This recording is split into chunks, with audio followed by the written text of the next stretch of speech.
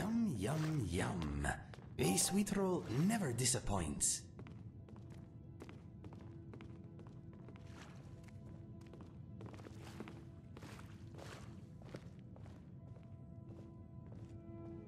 Do you need something?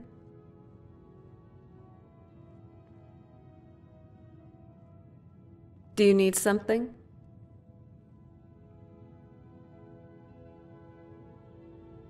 Not much, because there isn't really anything to do when you live on an island. And yes, on rare occasions I did travel to Skyrim with my father, on business. By which I mean intimidation, scheming, bribery, blackmail, an execution or two.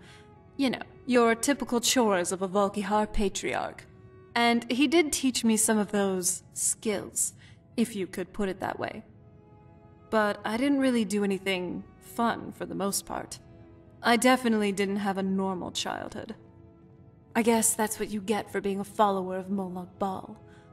Though, Besides the typical gardening and reading, I also did sing quite a bit. I wasn't nearly good enough to join the Bard's College, but I was pretty decent at it, and it made me feel less lonely. Tell you what, give me some time to warm up a bit on the side, and maybe I'll sing something for you.